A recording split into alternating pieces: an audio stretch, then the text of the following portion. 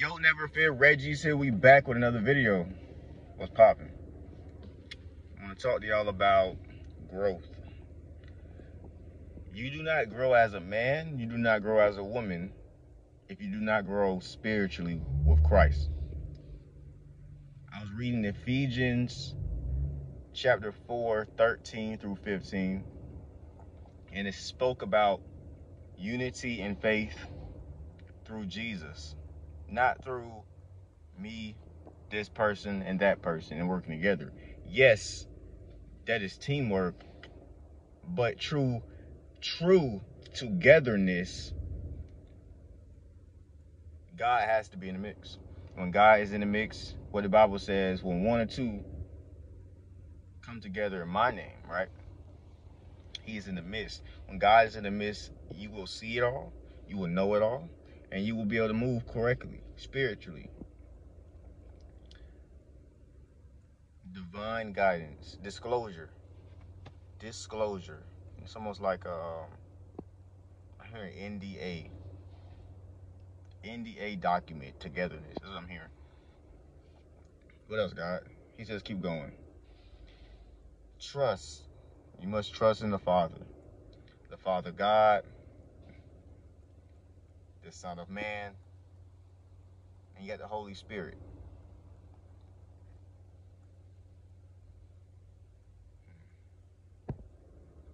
It's very interesting how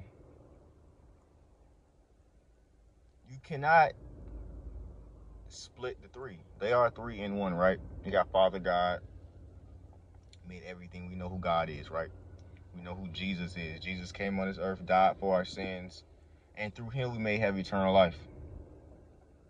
And then you have the Holy Spirit, the comforter, what we like to call divine influence, right? Because Jesus, he died a long time ago, left, send it back up to heaven, right? To be with the Father. He left us with the Holy Spirit as a comforter. Many people don't know God because they don't haven't accepted soul salvation um, you have to believe and be willing to transform into that.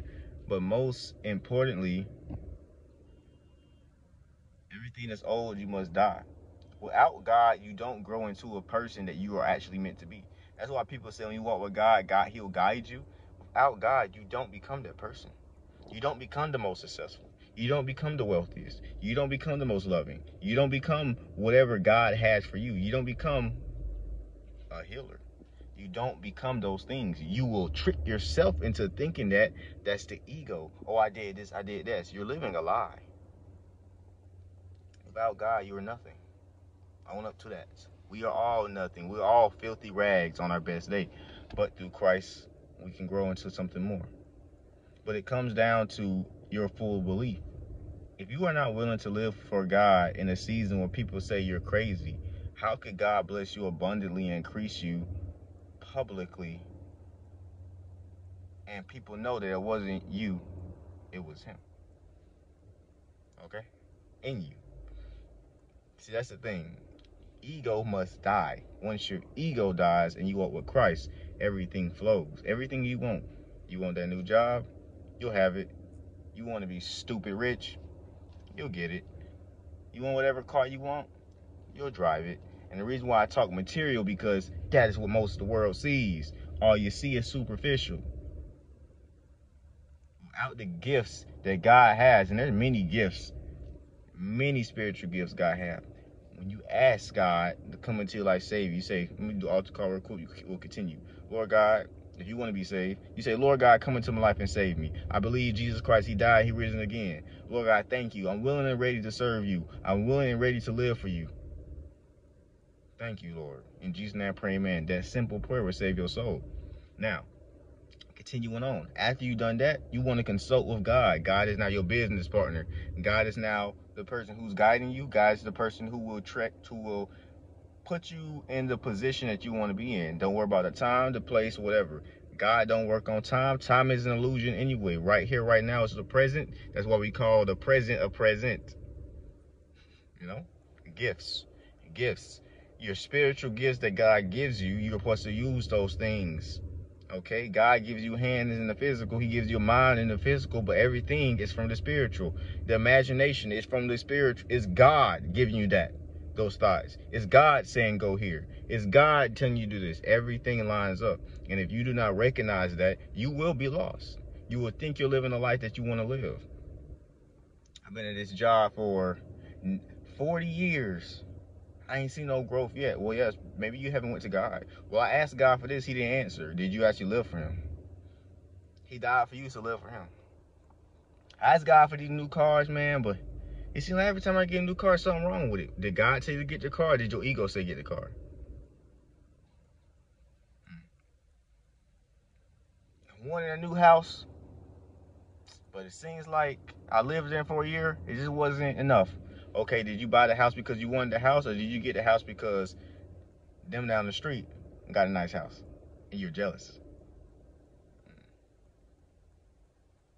Where's your heart? God doesn't work in a hardened heart. He can heal it. He's not. He's not going to do nothing you won't allow him to do. Anything you want, master manifester.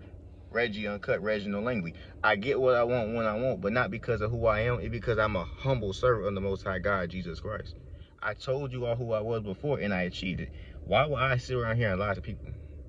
Makes no sense. Am I perfect? Not at all.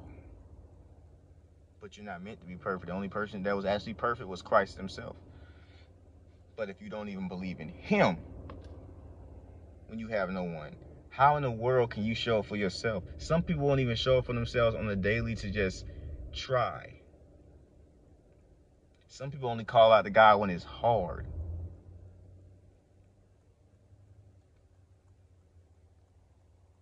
Imagine someone standing in the door and opening it and say, hey man, come on in whenever you want to.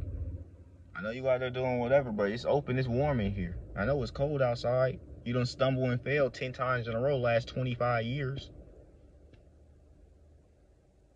But guess what? God doesn't even care. He'll use you. Stop looking in the physical what you see about what Christians are, people. What what what people who serve the Lord Jesus Christ is. But we live in abundance over here. I lack nothing. And it, the lack doesn't happen just in the, the physical. It starts in the spirit. And if you don't understand those things, if you don't go deeper in God's word, if you don't go deeper in the knowledge that God has given you on this earth, the Bible is the best personal development book you can read. Correct? I think we all understand that now if you actually read the word of God and uh, hone in on it. But also educate yourself on other readings, right? When I say other readings, I mean knowledge you can apply in your jobs, useful service in your businesses, whatever it may be. It's not always about how fast I can get rich. It's about how fast you can learn and help people. Because here's the thing I realize. Like two things. When praises go up, blessings come down. Whatever you loose on earth, it'll be loose in heaven. I believe a lot of that comes when it flows from the heart. If you have an envious, hateful, deceitful, disturbed soul, do you think God's going to give you anything? Oh, I got all this stuff. Who did it come from? Did it come from the Lord? Or did you just get it because you wanted it out of your free will? Or did the enemy send it to you and you took it? But here's the thing with the enemy. If you got something at one point and it's gone, then it didn't come from God, probably. Or maybe you got something from God and you did not manage it correctly. These are all lessons you must learn. No one's perfect. But if you learn them, you'll grow. When someone falls, you don't laugh. Because the same person that falls will be the same person God makes ruler over everyone. Be very careful. First generation multimillionaire signing out. More to come. And for all who doubted me, this will be the most regretful years of your life. Tell your kids' kids about me, and you know this.